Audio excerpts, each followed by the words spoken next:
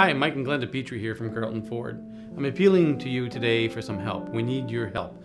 Uh, Glenn and I get involved in the community, and we have been in the past. We've done the OC Transpo strike and helped some charitable organizations get some uh, uh, some much needed help.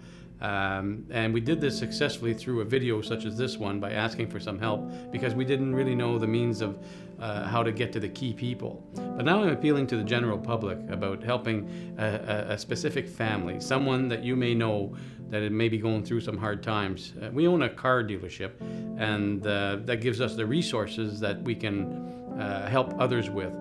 I'm not talking about help, helping everybody. I, we can't we can't just go on and, and, and help everybody, uh, although we'd love to do it. Uh, we're talking about a specific family in need uh, of a vehicle repair because of uh, unforeseen circumstances of loss of employment, maybe maybe uh, um, uh, health issues, this type of thing. we're looking to help a family that, that needs their vehicle repaired and they can't afford to do it. That's basically what we're doing. Maybe you know of a family who's driving an unsafe vehicle, they need help. Uh, what we're willing to do is take this family, bring their vehicle into the shop at here at Carleton Ford.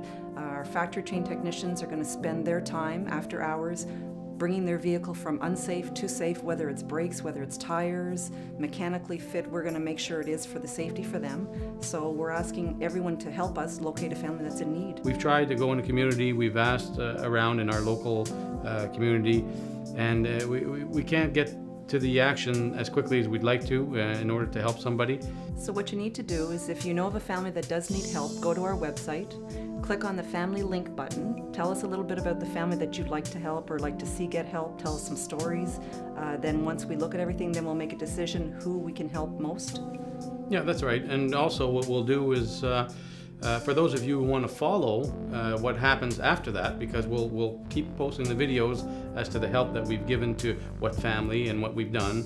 Uh, for those of you who want to follow that, then just simply uh, go to the link and register, and that'll give you an opportunity then to follow the story and uh, find uh, the conclusion to it as we will. So hopefully you'll join us, both Glenn and I, and join our team here at Carleton Ford that we're able to get this thing off the ground, help a family that needs it, and uh, together we can make a difference.